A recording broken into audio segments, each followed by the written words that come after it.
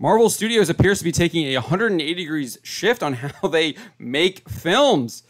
The Marvel's director recently admitted that female led films now depend on whether or not the movie's good. If you recall, Kevin Feige previously indicated uh, regarding The Eternals that the reason why that movie was even pushed to the forefront of their list was because of all of the identity politics that they could push in the movie. Now it looks like it really does. Uh, you have to have a good story, a good movie, and you have to get people in seats in order for them to continue to make stories like like the Marvels or like the Eternals, I guess. So first off, we have Nia DaCosta actually admitting that Kevin Feige didn't really like a lot of her ideas. She told Total Film, "I'll pitch Kevin Feige 17 versions of what can happen with all these women, and why, and how, and this and that."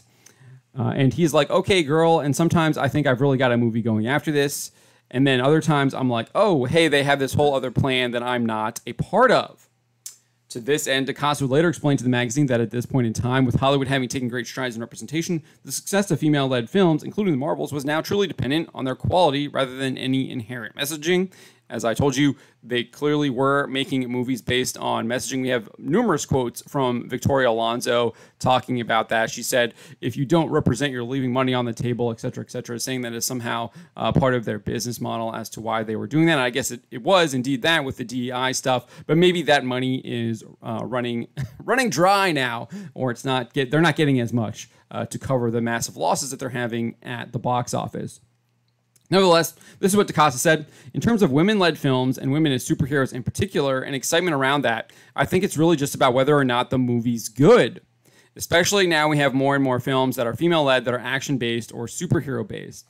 So, very clear there that the that the success of a film now is whether or not it's actually good, not whether or not it actually includes women or some other uh, minority.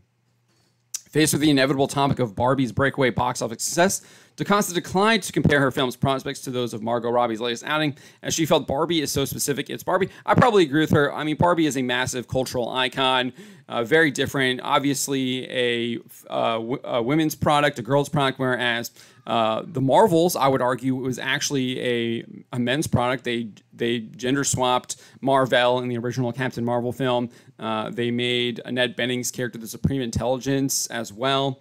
Uh, we're getting a gender swapped villain in this upcoming The Marvels film. So, very different. They're taking, I would argue, what is a boys' product uh, uh that used to be aimed at boys and trying to turn it into a women's product uh, with Captain Marvel, Carol Danvers, etc., uh, Kamala Khan, and um, I don't even know what they're calling her. Um, I, she was originally Captain Marvel, um, Monica Rambeau. Uh, DaCosta goes on and says every girl in the world pretty much probably had a Barbie and a lot of men. So I think that's a phenomenon that's probably going to make a billion dollars. So yeah, she's making the same point that I just made. So I, I, I do agree with her uh, on that aspect. Uh, as the interview drew to a close, DaCosta ultimately admitted that rather than look to Barbie as a blueprint for success, she believed that for women led superhero films, as long as the quality stays up, that's going to keep the audience coming back. Unfortunately, Marvel Studios does not have a track record of quality anymore. They have a track record of poor uh, quality films uh, not high quality. They're not getting people wanting to go back. Uh, obviously, Guardians of the Galaxy did worse than I think the first and second movie. I have to double check that, but I'm pretty sure that is the case. We obviously have the Ant Man and the Wasp Quantumania losing money. Numerous people have been um, deriding the quality of the product, where, whether or not that's Thor, Love and Thunder, Doctor Strange, and the Multiverse of Madness, and whether or not those films have actually made money.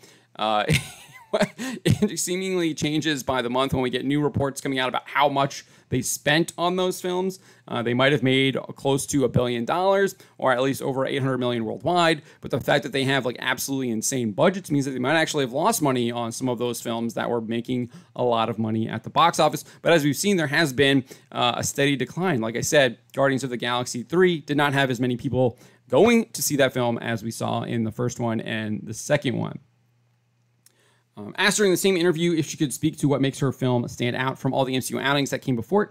The director asserted the biggest difference from the other MCU movies to date is that it's really wacky and silly.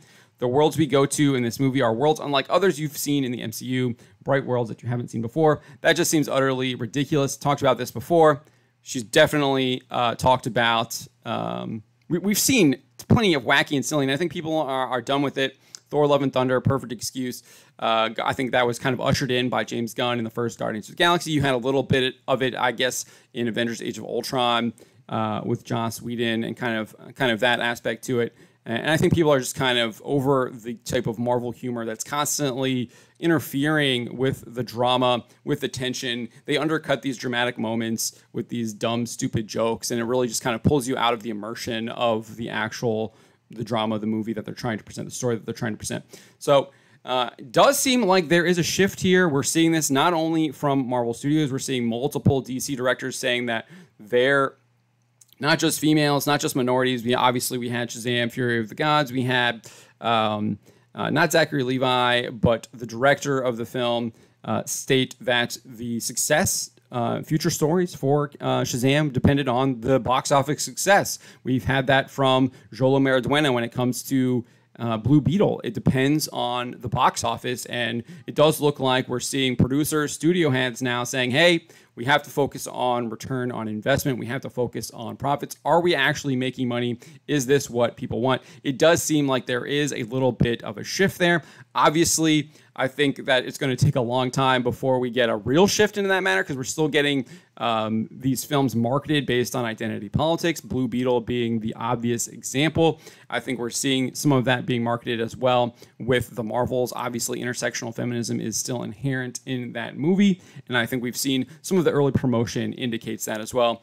But let me know what you think. Do you think we're actually getting a shift in how uh, these studios determine whether or not they uh, continue to make these films. Are they actually going to focus on good story and box office returns, or will they still focus on their DEI investment to fund the narrative that they want to push?